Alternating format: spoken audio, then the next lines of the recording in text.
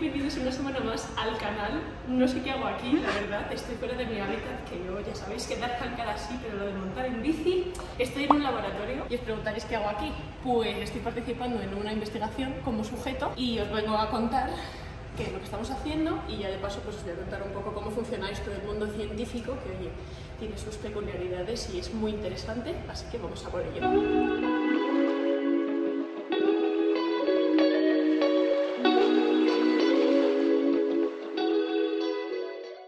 Aplicamos nosotros los entrenadores, o deberíamos al menos todos basarlo en evidencia científica, pero luego obviamente hay que mm, aplicarlo a la propia persona que puede que la ciencia se adapte a ti o no. Entonces, ¿de dónde salen todas esas investigaciones, dónde salen todas esas soluciones, todas esas respuestas a las preguntas de nuestro cuerpo? Pues eh, salen de sitios como este, que ahora después os lo voy a enseñar, que este es un laboratorio de fisiología del ejercicio y aquí tenemos a Jorge Gutiérrez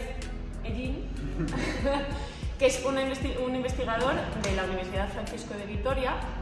Eh, participa en la investigación que estoy, en la que estoy participando como sujeto y quiero que nos cuentes, Jorge, por qué los estudios científicos, por qué hay que fiarse de ellos.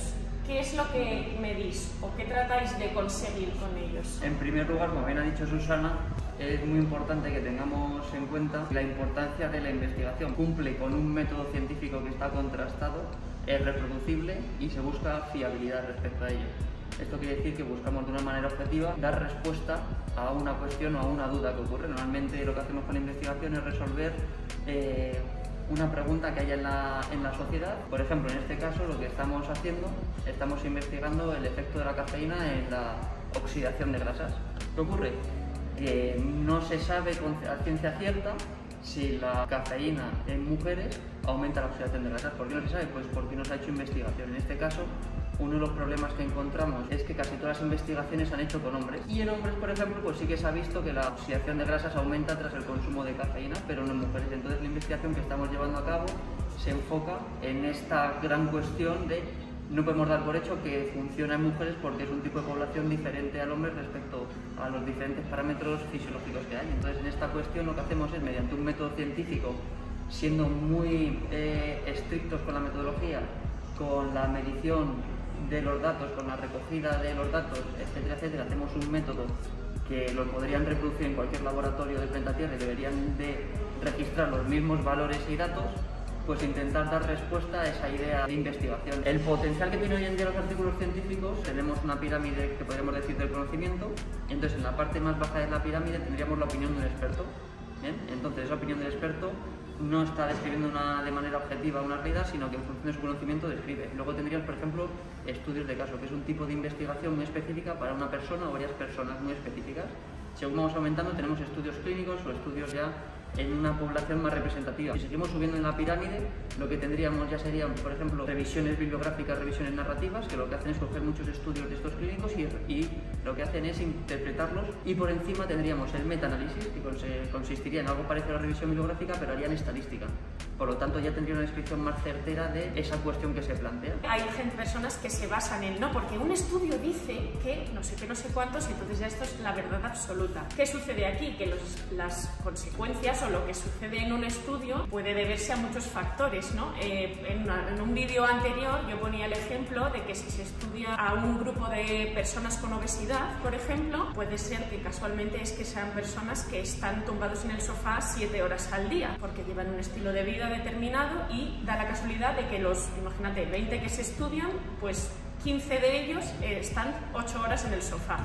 ¿Tú puedes afirmar que estar 8 horas sentado en el sofá engorde. Hay muchos más factores alrededor de Ahí está. Ahí es donde quería yo llegar. Cuando escuchéis a alguien decir, es que un estudio dice que no sé qué. Vale, vale, pero sed críticos y buscad vosotros mismos información. Esta pirámide que nos ha explicado Jorge funciona de esa manera.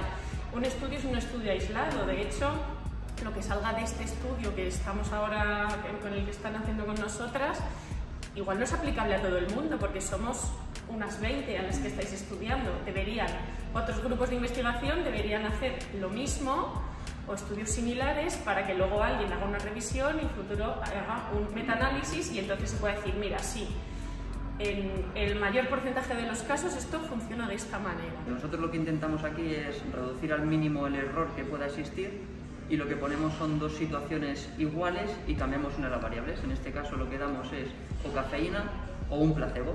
Y entonces reproducimos absolutamente todo, la situación y el contexto de los sujetos, la actividad física, el descanso, el sueño, la hidratación, la alimentación, eh, etcétera, etcétera. Y cuando vienen aquí lo único diferente que debería haber es lo que han ingerido.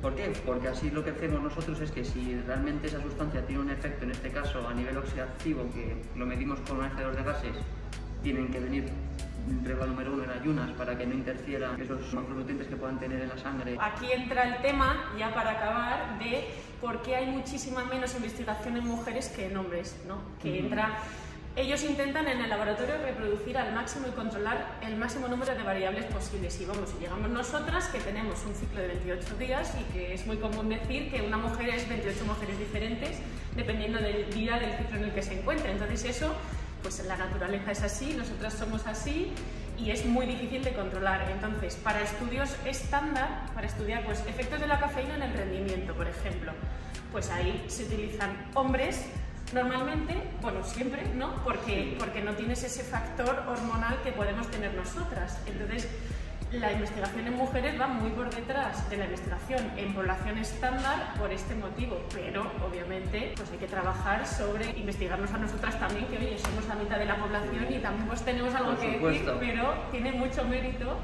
a aquellos que se atreven a esto. El sujeto que está haciendo el experimento ni el investigador que está tomando los datos sabe lo que lleva el sujeto para que no interfiera a nivel de sesgo en la investigación. Cuando tú mandas el artículo, hay expertos como tú, investigadores, que te van a revisar el trabajo. Entonces van a evaluar todos estos aspectos metodológicos. Es un proceso muy difícil y bastante lento que culmina con la publicación del artículo. Cuando alguien nos diga que se basa en ciencia, que os diga el artículo, es verdad, eso también es cierto, pero, pero bueno, de momento ya marca la diferencia. me, toca subirme a la bici por quinto día. además, justo hace 45 minutos que te ha tomado, la, la cápsula.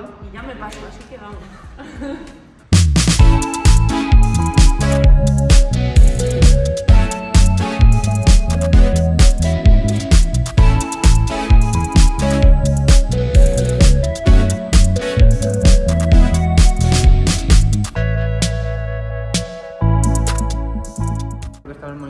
es a nivel ventilatorio eh, cómo se comporta en verdad de manera integrada todo su, organismo a nivel de producir energía de manera oxidativa. ¿Qué quiere decir esto? Pues que el oxígeno que hay en el aire le da tiempo a pasar a los pulmones, de los pulmones a la sangre, de la sangre llegar a las celulitas y en las celulitas ese oxígeno lo que hace es romper unos enlaces que tienen los macronutrientes para producir energía. Entonces, cuando hablamos de trabajo aeróbico, estamos hablando justamente de eso, de que el oxígeno le da tiempo a llegar a esa célula y a reducir los estados energéticos para sacar energía. Ahora Susana lo que está haciendo es el calentamiento. Está haciendo 8 minutos de calentamiento a una intensidad que supone su 30% consumo máximo de oxígeno. El primer día que vino hizo un consumo máximo de oxígeno para calcular su 100% en consumo de oxígeno y cada incremento que vamos a ir haciendo para ver cómo está comportando su cuerpo a una intensidad más alta, lo hacemos con un incremento del 10%.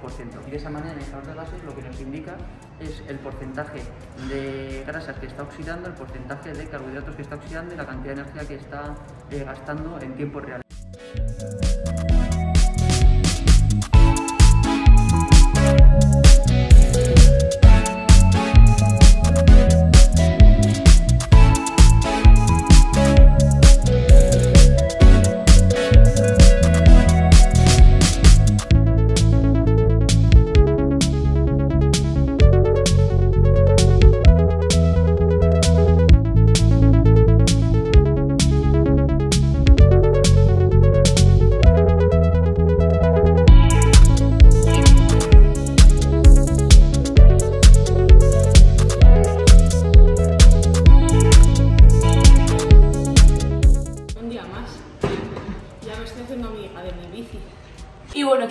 Hasta aquí este vídeo que os debía desde hace un montón, de hecho me ha cambiado hasta el color de pelo. Espero que os haya entretenido esta inmersión en un laboratorio y hayáis podido comprobar desde dentro cómo es el día a día de un investigador y qué cosas se hacen ahí y por qué es tan fiable todos esos estudios y todos esos artículos científicos de los que os hablamos siempre. En todo este tiempo desde que estos clips fueron grabados, Jorge y yo hemos sacado un programa que se llama Ciencia T, un programa para aprender desde cero tengas el nivel que tengas, a interpretar artículos científicos, a encontrarlos, a interpretarlos y a sacar la información que te puede servir a ti. Te abre las puertas del conocimiento absolutamente porque no te tienes que limitar a escuchar aquello que te enseñan, sino que puedes ponerlo en duda, puedes buscar información, puedes ser crítico y puedes sacar tus propias conclusiones. Os lo dejo por aquí abajo, en la descripción, debajo del título, si queréis echarle un vistazo. Ya sabéis que cualquier duda que tengáis os leo en los comentarios, decidme también qué os ha parecido este vídeo y nos vemos pronto con más. También se admiten sugerencias para el canal. ¡Hasta luego!